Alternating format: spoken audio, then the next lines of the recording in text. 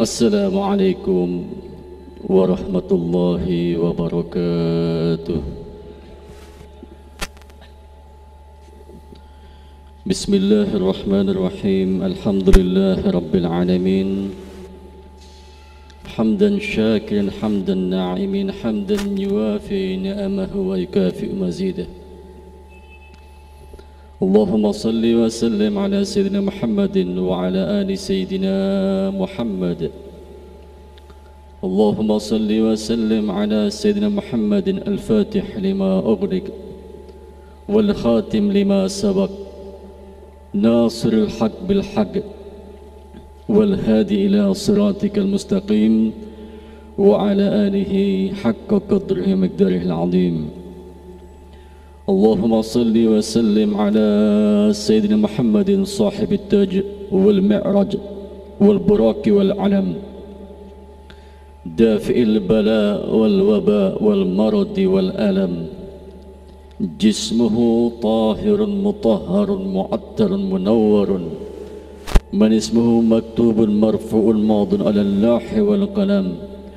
شمس الضحى بد الدجى نور الهدى مصباح الظلام أبي القاسم سيدنا محمد صلى الله عليه وسلم نبي الحرمين محبوب عند رب المشرق والمغربين فيا أيها المشتاقون لنور جماله صلوا عليه وسلموا تسليما. اللهم صل وسلم وبارك عليه وعلى آله. اللهم صل وسلم على سيدنا محمد قمر الوجود في هذا اليوم وفي كل يوم وفي يوم الموعود. سرا وجل في الدنيا والأخرى وعلى آله وصحبه وسلم. أما بعد Hadirin hadirat para pecinta majlis salawat, para pecinta majlis duha, para pecinta majlis ilmu, para pecinta majlis zikir, majlis burda yang insya Allah kesemuanya dimuliakan oleh Allah subhanahu wa ta'ala. Dimuliakan di dunia dimuliakan di barzah dimuliakan di akhirat kala amin. Allahumma amin. Amin ya rabbal alamin. Alhamdulillah kita wajib untuk selalu bersyukur kepada Allah Subhanahu wa taala. Hendaklah kita Pak Bu senantiasa bersyukur kepada Allah Subhanahu wa taala, memuja dan memuji Allah bagaimanapun kondisi kita, apapun keadaan kita, kita terus memuji Allah Subhanahu wa taala, bersyukur kepada Allah Subhanahu wa taala. Sebab nikmat yang Allah berikan kepada kita sungguh sangat banyak sekali, Pak tidak mampu kita untuk menghitungnya. Tidak mampu kita untuk membayarnya. Sepanjang apapun usia yang Allah berikan kepada kita kita gunakan untuk ibadah kepada Allah. Sebagai bentuk syukur kita kepada Allah belum mampu melunasi membayar nikmat-nikmat yang Allah berikan kepada kita sekalian. Nabi Dawud alaihissalam beliau senantiasa bersyukur kepada Allah Subhanahu wa taala. Hingga pada akhirnya Nabi Daud mengatakan bahwasanya ya Allah aku tidak mampu untuk bersyukur dengan sebenar-benarnya syukur. Dalam makna aku tidak mampu bersyukur hingga kemudian syukurku ini mampu untuk membayar nikmat yang kau berikan kepadaku. Kenapa? Ketika aku mampu bersyukur maka aku harus bersyukur atas kemampuanku bersyukur kepadamu ya Allah. Kemudian Allah subhanahu wa ta'ala mengatakan wahai Dawud sesungguhnya ketika engkau merasa lemah dalam bersyukur kepadaku itu adalah bentuk syukur yang sangat tinggi yang sangat besar. Jadi harus Pak kita merasa bahwa kita ini lemah kurang dalam bersyukur kepada Allah subhanahu wa ta'ala. Apa pun keadaan kita bagaimanapun kondisi kita wajib bagi kita untuk selalu bersyukur kepada Allah Subhanahu wa taala. Salam selawat semoga senantiasa tercurahkan kepada junjungan kita Nabi yang paling indah akhlaknya yang paling indah budi pekertinya yang paling bagus wajahnya yang kita puja-puja terus di pagi ini mulai dari awal qasidah salawatullah ta'ala syair-syair memuji Nabi Muhammad sallallahu alaihi wasallam. Kita baca syair qasidah burdah yang merupakan pujian-pujian kepada Nabi Muhammad sallallahu alaihi wasallam. Nabi yang cintai umat Nabi yang kasihi umat Nabi yang perjuangkan umat dari dunia hingga akhirat. Dialah Nabi kita Nabi Muhammad sallallahu alaihi wasallam Hadirin hadirat yang dimuliakan Allah Subhanahu wa taala pada kesempatan kali ini kita akan bersama-sama untuk mendalami, menghayati apa yang kita lakukan di pagi hari ini. Apa itu? Yaitu pembacaan gasidah burda. InsyaAllah mulai malam, mulai pagi ini dan seterusnya apa yang akan kami sampaikan adalah berkaitan dengan keutamaan dan syarah kalimat-kalimat syair burda yang kita baca. Gasidah burda yang kita baca itu adalah isinya pujian-pujian kepada Nabi Muhammad sallallahu alaihi wasallam. Dan gasidah burda ini merupakan gasidah burda, gasidah yang paling masyhur, yang paling terkenal seluruh dunia. Hampir di semua negara mengetahui dan mengamalkan gasidah burda ini. Ini menunjukkan keutamaan gasidah burda ini baik di negara-negara Islam hatta di negara Eropa yang ada mayoritas Islam yang ada penduduk Islam yang di sana mengamalkan gasidah burda ini karena menunjukkan ini menunjukkan keutamaan dan kemasyhuran gasidah burda ini pujian-pujian kepada Nabi Muhammad sallallahu alaihi wasallam ya yang dikarang oleh seorang yang bernama Imam Al-Busiri sebutannya. Siapa nama aslinya? Muhammad. Sama dengan nama nabinya Muhammad ibn Said. Muhammad ibn Said ini atau Imam Busri ini lahir di tahun 12 12 Masehi. Kurang lebih 600 tahun setelah meninggalnya Nabi Muhammad sallallahu alaihi wasallam di mana dilahirkan di desa namanya Desa Busair itu makanya disebutkan Al-Busairi dinisbatkan kepada tempat kelahirannya. Di mana itu? Di negara Mesir. Kelahiran Imam Busiri ini, pengarang syair Burdani. Ya. Nah, kemudian ketika beranjak dewasa, apa yang beliau tekuni? Beliau ulama besar yang mengetahui berbagai macam ilmu. Awal yang beliau pelajari adalah menghafal Al-Quran. Imam Busiri ini setelah hafal Al-Quran, kemudian belajar tentang ilmu-ilmu agama yang lainnya. Berbagai macam ilmu agama beliau pelajari. Tapi yang khusus yang beliau pelajari adalah keahlian beliau adalah keahlian dalam bidang bahasa dan sastra Arab. Ini keahlian beliau. Sehingga ketika itu Imam Busiri ini Muhammad bin Sa'id Muhammad bin Sa'id ini sering membuat syair-syair yang sangat indah tentang raja, tentang pemerintahan. Buat syair-syair sangat indah dikagumi ketika itu oleh masyarakat. Hingga sampai sama raja karena keilmuannya begitu tinggi, Syekh Muhammad bin Sa'id ini diangkat menjadi pegawai pemerintah yaitu waliul hasbah atau kalau sekarang barangkali apa yang bertanggung jawab tentang syariah Barangkali kalau kita terjemahkan dengan keadaan sekarang, Pak, mungkin menteri agamanya atau ketua MUI, ketua Majelis Ulama atau menteri agama diangkat oleh pemerintah berkat keilmuannya yang sangat tinggi. Ya. Kemudian pernah juga diangkat menjadi pejabat di sebuah daerah namanya pejabat ya namanya pejabat yang punya keilmuan yang sangat tinggi.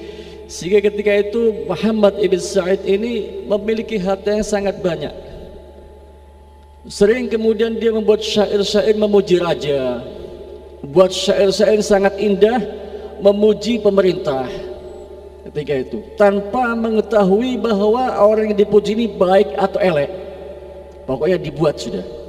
Ketika itu sampai pada suatu keadaan kemudian dia merasakan bahwa dia meninggalkan dia tinggalkan kerajaan kemewahan dia tinggalkan. Sudah saya tidak mau dekat sama raja lagi. Tidak mau dekat dengan pemerintah lagi. Sudah memisahkan diri kembali tekun kepada agama. Belajar lagi.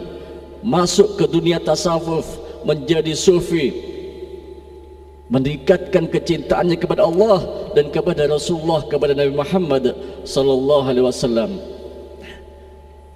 Hingga pada suatu hari Imam Busiri ini jatuh sakit. Ini awal mulanya latar belakang ketika Gosidah Buldani dibuat. Jatuh sakit Imam Busiri ini. Jatuh sakit kalau dikatakan sekarang penyakitnya penyakit lumpuh atau mungkin bahasa sekarang stroke sebagian anggota tubuhnya tidak bisa bergerak.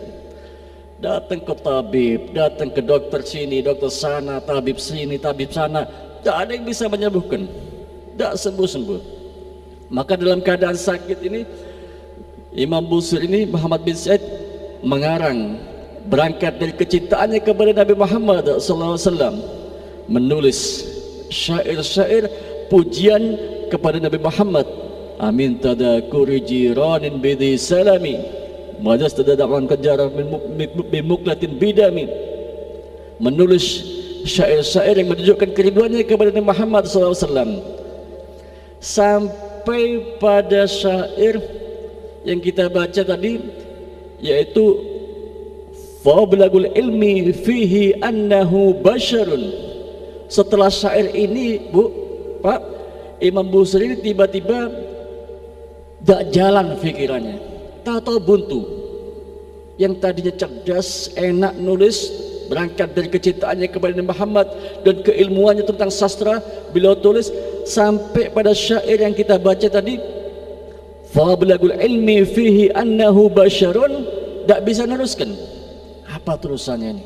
Tidak bisa melanjutkan apa maknanya coba fawablagul ilmi fihi annahu basyarun sepengetahuan saya bahwasanya Nabi Muhammad itu adalah manusia biasa.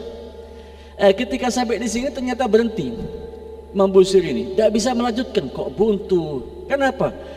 Karena beliau merasakan kok saya ini agak sedikit tidak beradab sama Nabi Muhammad tulisan syair ini seolah-olah menunjukkan bahwa dia tu kurang beradab kepada Muhammad sedikit kurang ajar kepada Muhammad sehingga ketika itu buntu tidak bisa nulis lagi dalam keadaan sakitnya ya. Oh, subhanallah malamnya bermimpi Imam Busur ini mimpi didatangi oleh Rasulullah SAW berjumpa dengan Rasulullah ya. kemudian kata Rasulullah kata Muhammad ya, bacakan Ikra. Apa yang dibaca Rasulullah? Ikra. Apa yang dibaca? Syair-syair pujianmu kepadaku yang kau tulis, kau baca. Dibaca sama Imam Busiri. Amin tada kurijin ronin bidi salim dengan suara yang indah. Sampai kepada bait yang Fablagul ilmi fihi annahu basharun berarti Imam Busri.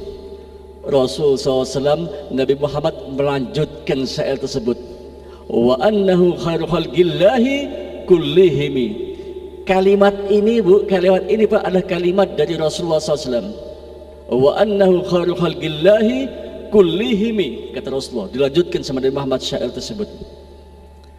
Dan sesungguhnya dia adalah sebaik-baik makhluk di antara semua makhluk Fablagul ilmi fihi annahu basharun wa annahu khairu khalqillahi kullihim. Ini kalimat dari Nabi Muhammad wa annahu khairu khalqillahi kullihim ini. Kalimat dari Muhammad. Itu makanya ketika kita baca di pada berhenti fasal apa yang dibaca? Maulaya salli wa sallim daiman abada ala habibika khairil khalqillahi kullihim mengambil kata-kata kalimat daripada Nabi Muhammad sallallahu alaihi wasallam. Wa subhanallah kemudian dalam mimpinya tersebut ketika membacakan syair tersebut ya diusap kemudian. Tubuh Imam Busir ini diusap oleh Rasulullah SAW diusap kemudian diserahkan diberikan kila selimut. Ada yang katakan lagi surban. Ya selimut ini bahasa Arabnya burdah. Atau yang ada mengatakan bur'ah dalam mimpinya Imam Busri dikasih surban wa'ila dikasih selimut sama Rasulullah SAW diusap tubuhnya bangun pagi subhanallah sembuh dari penyakitnya Imam Busri Allahumma salli ala Sayyidina Muhammad sembuh Imam Busri dari sakitnya sudah ya. kemudian ada kejadian yang yang menarik ya. ketika Imam Busri kemudian keluar rumah tiba-tiba ada seorang soleh yang memanggilnya. Dipanggil. Muhammad ibn Said. Dipanggil. Ada apa? Tolong engkau bacakan. Apa? Apa yang saya bacakan? Coba kamu bacakan. Apa yang saya bacakan? Syair-syair kamu kepada pujian kamu kepada Nabi Muhammad. Yang mana? Itu yang amin tadakurijin loh kok tahu kamu ini syair belum saya berikan siapa-siapa. Saya belum pernah baca belum pernah ngasih tahu kepada siapa-siapa. Apa kata orang soleh ini? Saya bermimpi saya bermimpi saya melihat Nabi Muhammad mendatangi kamu kemudian kamu membaca syair ini dan saya melihat Nabi Muhammad ketika kamu baca syair tersebut Nabi Muhammad menggoyang-goyangkan badannya menikmati. Dan Nabi Muhammad kelihatan senang ketika kamu baca syair ini Sa'il Burdani pujian-pujian kepada Nabi Muhammad tolong kamu bacakan. Karena ini orang soleh yang minta dan jelas ini orang yang tahu. Imam Busri membaca dalam mimpinya kepada Nabi Muhammad. Dibacakan Sa'il Burda tersebut secara lengkap. Dibacakan. Mulai saat itu ya mulai saat itu Sa'id Burdani kemudian disampaikan kepada orang lain oleh orang soleh ini. Dibacakan di sana, dibacakan di sana, dibacakan di sana. Mulai terkenal sudah. Mulai terkenal Sa'id Burdani. Padahal Imam Busiri sendiri tidak tidak menyampaikan kepada orang lain sebelumnya. Hingga kemudian ada seorang pejabat kerajaan ya, ada seorang pejabat kerajaan di masa itu namanya Bahauddin Ibn Hinna beliau mendengar dari orang lain tentang Gosidah Burda ini. Tentang Gosidah waktu itu belum ada namanya ya, tentang Gosidah ini. Pujian kepada Nabi Muhammad SAW ingin mendengar langsung daripada Imam Busiri. Berangkat ke rumah Imam Busiri kemudian mendengarkan lantunan Gosidah Burda ini dari lisan Imam Busri nikmat bahkan dia apa? Saya akan mendengarkan Gosidah Burda ini sambil berdiri tanpa alas kaki tanpa penutup kepala di tengah-tengah lapangan. Saya akan menikmati qasidah Burdan dibacakan sama Imam Busri dia menikmati tidak merasakan panas sama sekali. Nikmat dia rasakan oleh Bahauddin ini. Sehingga kemudian Bahauddin ini minta catatannya untuk bisa diamalkan. Pada suatu hari kemudian ada temannya Bahauddin ini yang sakit yang sakit sakit mata tidak sembuh sembuh tidak sembuh sembuh ya. Namanya Sa'aduddin eh, sakit mata tidak sembuh sembuh ke mana-mana tidak sembuh sembuh Sa'aduddin ini tenang bermimpi. Bermimpi katanya dalam mimpinya itu ada suara yang mengatakan kamu datang kepada Bahauddin dan minta kepada Bahauddin burdah. Minta burdah kemudian kamu tempelkan kamu taruh di muka kamu di mata kamu Ketika bangun Sa'adudin bergegas kepada ke rumah Ba'udin. Kemudian disampaikan, saya minta bordahnya. Saya minta selimut kamu, mau saya tempelkan. Saya mimpi begini, begini, begini. Kata selimut bordah kamu tuh, kalau saya tempelkan ke wajah saya, maka penyakit parah saya akan sembuh. Saya tidak punya bordah, saya tidak ada selimut, apa tidak ada. Tidak, pokoknya saya minta apa, tidak tahu, suatu yang ada pada kamu. Oh ini ada suatu, saya punya ini, bacaan Gausidah ini pujian-pujian kepada Muhammad yang dikarang oleh Imam Al-Busiri. Oh ya, coba mana? Bukan dibaca, Bu, bukan dibaca, Pak. Ditempelkan ke mukanya sini. Subhanallah, Allah berikan kesembuhan. Allah berikan kesembuhan. Berkat tulisan Gasidah Burda. Sembuh subhanallah. Mulai saat itu ini ngamalkan, ini ngamalkan, itu ngam tersebar kemasyhuran gasidah burda ini ya. yang kita baca itu ya. Ini. Kemudian apa? Apa keutamaan-keutamaan Gausidah Burda ini ya. Ini pujian-pujian kepada Nabi Muhammad SAW. Ya. Kita ini kalau ingin mendapatkan rahmatnya Allah, pandangannya Allah, Allah cinta kepada kita, maka buatlah kekasihnya cinta kepada kita, suka kepada kita.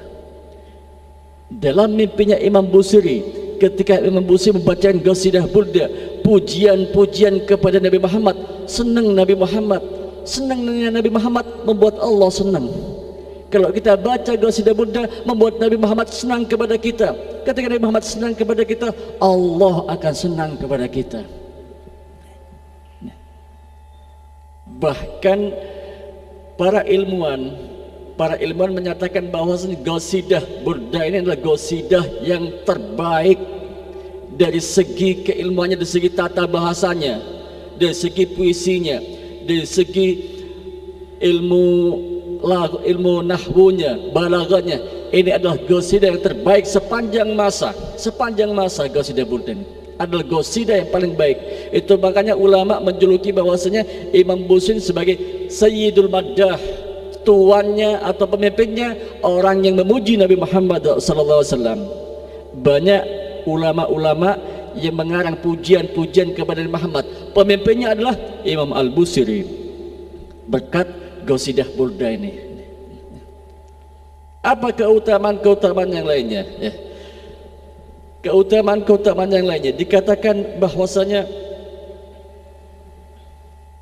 seorang ulama ulama besar bahkan dikatakan sultan ilm rajanya ilmu ini ulama rajanya ilmu. Banyak murid-muridnya menjadi ulama. Bila mengatakan bahwasanya tahsin yaitu Habib Salim bin Abdul Asyatiri yang ada di Hadramut Yaman sudah meninggal empat tahun yang lalu. Bila mengatakan tahsinul burda akwa min tahsinul hizbin an-nawawi menjaga atau melanggengkan, mendawamkan, mengistiqomahkan membaca gasidah burda itu lebih dianjurkan ketimbang menjaga atau mengamalkan bacaan Hizib An-Nawawi. Hizib An-Nawawi ini kalau orang baca jaminannya akan selamat dari semua gangguan makhluk-makhluk Allah yang melata, yang ada di tanah, yang ada di muka bumi yang melata, yang terbang akan aman. Apa maknanya? Maknanya ketika di, ada sebuah pilihan di antara kita, saya ini harus baca Ghasidah Burda atau Hizib An-Nawawi, maka pilihlah Ghasidah Burda. Lebih aqua, lebih pantas, lebih kuat, lebih dianjurkan untuk didalamkan, untuk diistiqomahkan Ghasidah Burda ini. Kemudian bila mengatakan, bila mengatakan Al-Habib Hussein bin Muhammad Al-Habsyi Al-Habib Husain bin Muhammad Al-Habsyi ini ayah daripada Al-Habib Ali. Al-Habib Ali ini yang mengarang Maulid Simtud Durar. Yang ya nabinya kita baca nanti itu. Ini ayahnya. Bermimpi Rasulullah SAW. Apa kata Rasulullah dalam mimpinya? Rasulullah mengatakan kepada Al-Habib Husain bin Muhammad Al-Habsyi ini mengatakan Igra al-Burdah. Bacalah Burdah. Bacalah Gasidah Burdah Kemudian mengatakan mengatakan Rasulullah kepada Al Habib Husain bin Muhammad Al Habsyi ini qiraatul burda ta'dilu sab'ina qiraati dalailil khairat. Membaca qasidah burda satu kali sama dengan membaca 70 kali dalailul khairat. Apa dalailul khairat itu? Dalail khairat itu kumpulan solawat-solawat yang panjang, yang banyak, yang biasa diamalkan oleh orang-orang soleh wali-walinya Allah subhanahu wa ta'ala. Solawat semua itu, itu kalau dibaca satu jam kira-kira. Satu jam. Solawat semuanya yang permohonan doa-doa semuanya sudah. Solawat yang dengan was, wasilah solawat tersebut permohonan doa-doa semua doa apa aja doa semuanya semua doa dalam daerah khairat itu satu jam kira-kira dibaca baca burda satu kali sama dengan baca dalil kharat sebanyak 70 kali Ini keistimewaannya. Barangkali ada suara miring, Bib itu kan semuanya dalilnya mimpi, Bib. Imam Busri mimpi. Kemudian Syekh Ba'udin mimpi temannya. Kemudian Habib Muhammad Husin mimpi juga. Mimpinya orang soleh itu benar. Coba kita perhatikan coba. Kita perhatikan. Ayo. Kita bahas sekarang. Syariat penyembelihan korban yang dilakukan oleh Nabi Allah Ibrahim alaihissalam dan Nabi Allah Ismail alaihissalam kapan berangkatnya mana dasarnya dasarnya apa ketika Nabi Ibrahim mimpi menyembelih Nabi Ismail alaihissalam mimpi ini mimpinya Nabi mimpinya orang soleh itu benar ya. ada maksudnya bisa dipercaya ketika mimpinya Nabi mimpinya orang soleh bisa dipercaya lain dengan mimpinya kita Kemudian apa lagi? Nabi Yusuf alaihissalam ketika belum diangkat menjadi nabi, nyampaikan di ayat Quran ada. Ini ra'aitu ahada asan kaukaban, ra'aitu misajidin. Ngomong sama abahnya, ayah, saya tadi malam mimpi, saya melihat 12 bintang dan satu bulan tunduk kepada saya ya Allah. Mimpi. Mimpi. Baru kemudian mimpinya ini apa? Mimpinya Nabi Yusuf menjadi kenyataan setelah 40 tahun. Baru setelah 40 tahun menjadi raja, kemudian saudara-saudaranya itu datang tunduk kepada Nabi Yusuf alaihissalam. Mimpi. Syariat adan, mau sholat kan dipanggilnya pakai adan. Mau sholat duhur, subuh, asar, maghrib, kan dipanggilnya pakai adan.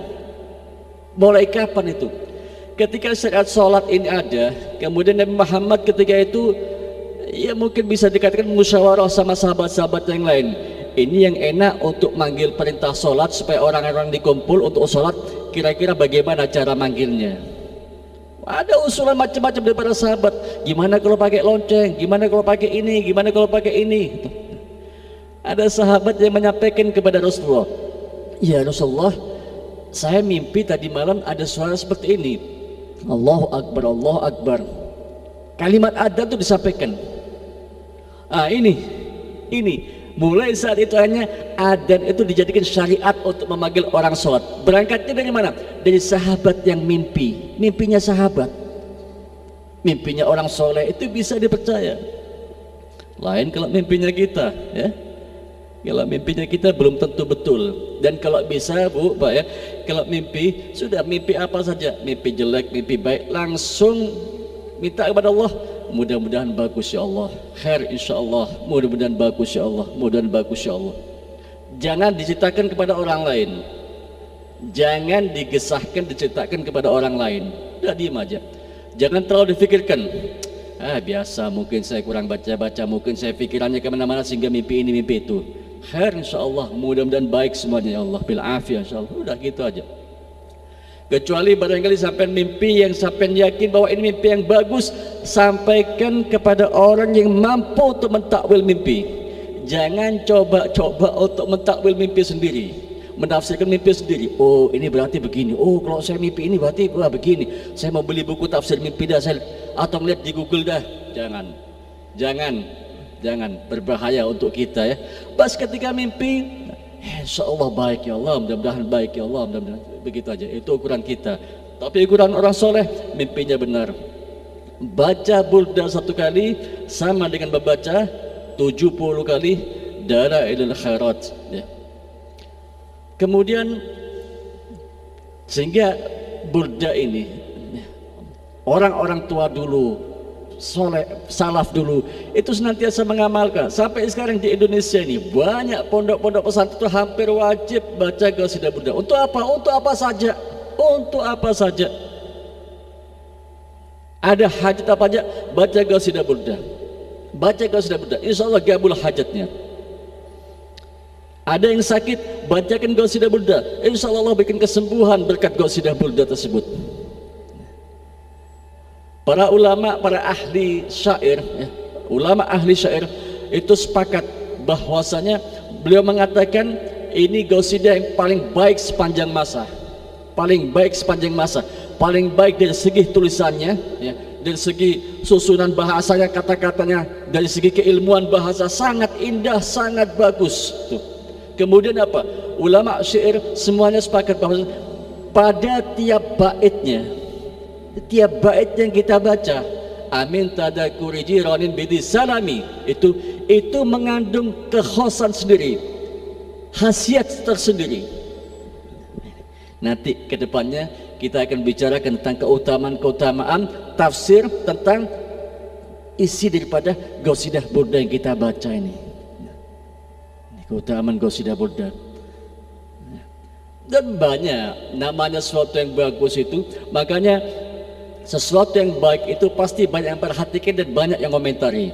Orang-orang yang suka dan memang yakin eh, sampai karena begitu tingginya Gosidah Buddha ini itu sampai ada yang mentafsirkan atau mensyarahkan, menjelaskan mengenai Gosida Buddha ini ada mungkin lebih lebih daripada 10 penafsir pengen menjabarkan apa maksudnya kalimat ini, apa maksud kalimat ini. Ada sampai 10 lebih. Ini menunjukkan bahwa Gosida Buddha ini adalah Gosida yang sangat unggul, yang sangat utama sehingga orang sebanyak ulama kepingin ambil bagian, kepingin mengkaji. Tapi jangan kaget. Jangan kaget, Bu ya. Ada juga yang menghina. Ada juga mencemooh. Itu orang-orang kemarin. Orang-orang kemarin sore, ya, yang kehabisan bahan untuk menyampaikan apa saja, ya. nah, nyari bahan sudah untuk dikritik, untuk begini, untuk begitu. Itu bagian daripada bagian daripada kalau dikatakan oleh seorang ulama bahwasanya surga ini ada perapiannya. Surga itu ada perapiannya. Apa perapiannya? Perapiannya neraka. Dan gitu juga, sesuatu yang baik itu pasti ada eleknya. Apa eleknya? Orang yang kritik, orang yang menyalahkan, itu ada. Yang mengatakan ini sesat, ini mengandung ayat-ayat yang musyrik. Itu ada yang mengatakan begitu. Dan itu orang-orang baru yang kehabisan bahan untuk membahas apa ya sudah ini aja dikaji sudah.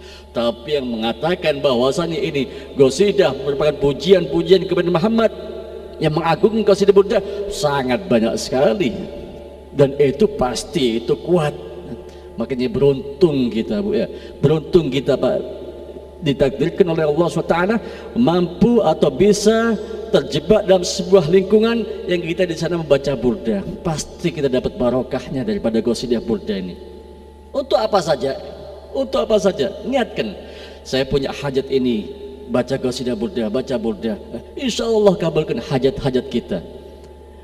Yang kita baca ini, yang kita baca mulai tadi ini ya, yang di kitab ini, ini sebetulnya baru separuh dari qasidah burda yang ada. Kalau kita kalau kita beli buku burda ya, ada banyak dijual, tipis ada 5000 mungkin ada, ada yang ada terjemahnya. Banyak macam-macam sudah. Itu lengkap 160 bait. Makanya dikatakan dalam bait terakhir abyatu hakat adat sitina ma'miatin. Bait batin telah datang sebanyak sitina ma'miatin 160 bait. Dan kita baca ini separuhnya separuhnya. Kenapa separuhnya? Satu kondisinya barangkali ya. Kondisinya barangkali menyesuaikan dan kondisi. Kemudian kita ambil fasal-fasal yang kita anggap lebih um, lebih mengenai kepada diri kita. Kita ambil fasal-fasal yang menunjukkan pujian-pujian kepada Nabi Muhammad SAW tentang mukjizat Nabi Muhammad, tentang kelahiran Nabi Muhammad, tentang munajat kepada kepada Allah Subhanahu wa taala kita ambil fasal-fasal yang penting itu. Tapi dalam kesempatan yang lain kalau bisa dibaca lengkap qasidah Burda ini. Dibaca lengkap qasidah Burda. Amalkan ya, diamalkan ya. Monggo banyak banyak majlis-majlis Burda yang ada. Khusus muslimat barangkali, khusus ibu-ibu kalau mau datang, kalau mau hadir Majlis Buddha yang ada Bu ini dua minggu sekali kebutuhan di rumah kami ya. Di rumah kami ada khusus muslimat. Untuk muslimin ya tiap hari Senin insyaallah. Senin jam 2 ya. Dua minggu sekali. Senin yang Senin besok sudah ada Senin akan datang insyaallah lah. Ada di rumah kami insyaallah. Untuk muslimin insyaallah akan ada. Sebelumnya di rumah kami juga di rumah Habib Mahdi ada. Tiap malam Selasa Ba'dal Maghrib kita baca. Insyaallah akan kami adakan lagi ya. Insyaallah akan kami adakan lagi. Begitu besar barokahnya Gosidah Burda ini besar ini pujian-pujian kepada Nabi Muhammad SAW kemudian sebagai penutup sebagai penutup coba. Kira-kira apa yang membuat Gosidah Burda ini memiliki keutamaan yang sangat tinggi? Sebatas yang kami ketahui dan tentunya masih banyak lagi yang, yang ada tentang keutamaan Qasidah Burda ini. Qasidah Burda ini menjadi utama. Karena apa? Qasidah ini dibuat ditulis dengan dohir yang bagus dan batin yang bagus. Apa maknanya dohir yang bagus? Dengan keilmuan syair susunan kata kalimat yang bagus. Pengarangnya ahli syair. Pengarangnya ahli sastra. Sehingga susunan kalimatnya begitu indah begitu bagus. Ahli sastra ahli syair mengakui bahwa ini syair yang paling bagus ini dohirnya ya. Dohirnya. Banyak banyak ulama-ulama memuji Nabi Muhammad SAW tapi dengan kalimat-kalimat yang cukup sederhana tidak salah. Tapi ini dengan keilmuan zahir yang sangat bagus. Dia mampu dia memiliki keilmuan kemudian keilmuannya dimanfaatkan untuk memuji Nabi Muhammad wasallam. Itu. Itu yang pertama. Zahirnya kalimatnya adalah kalimat-kalimat yang indah susunannya begitu susunan yang begitu bagus begitu indah.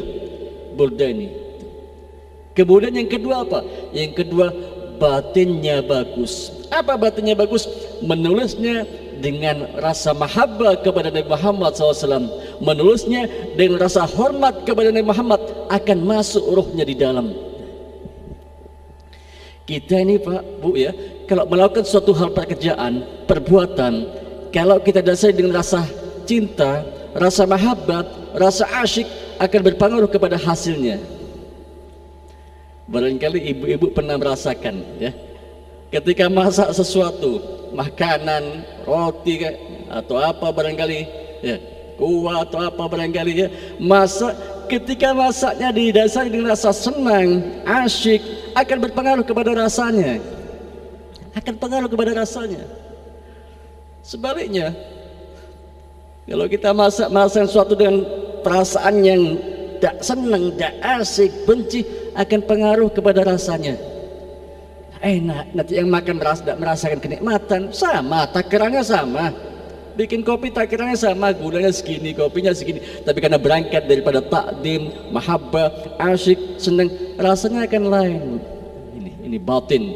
Nah ini gosida burda ini dohennya bagus batinnya bagus. Monggo ya kita mengamalkan gosida burda ya di rumah sendiri boleh diamalkan. Ada hajat, amalkan sudah Buddha. Dan masih banyak keutamaan-keutamaan kalimat-kalimat bait Gasda Buddha ini yang insya Allah akan kami jelaskan, akan kami kita pelajari bersama pada kesempatan-kesempatan yang akan datang. Mudah-mudahan ya kita dapat barokah manfaat daripada zikir Buddha yang kita baca ini.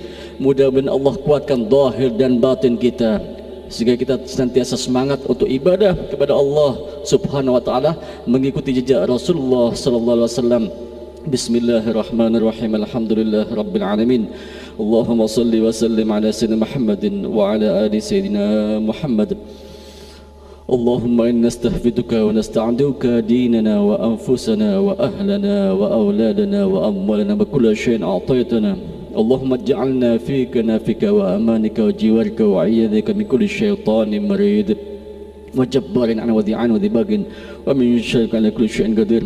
اللهم جملنا بالعافية والسلامة وحققنا بالتقوى والاستقامة وعذنا بموجبة الندامة إنك سميع الدعاء. اللهم اغفر لنا ولوالدينا ولأولاد مشايخنا والإخوان في الدين ولأصحابنا وأحبابنا من أحبنا فيك. ولمن أحسن إلينا والمؤمنين والمؤمنات والمسلمين والمسلمات يا رب العالمين. وارزقنا كامل المتابة له ظاهر وباطنا في عافية وسلامة. برحمتك يا أرحم الراحمين. وصلى الله على نبيك ورسول محمد صلى الله عليه وسلم. الحمد لله رب العالمين. هدنا الله وإياكم أجمعين. والسلام عليكم ورحمة الله وبركاته.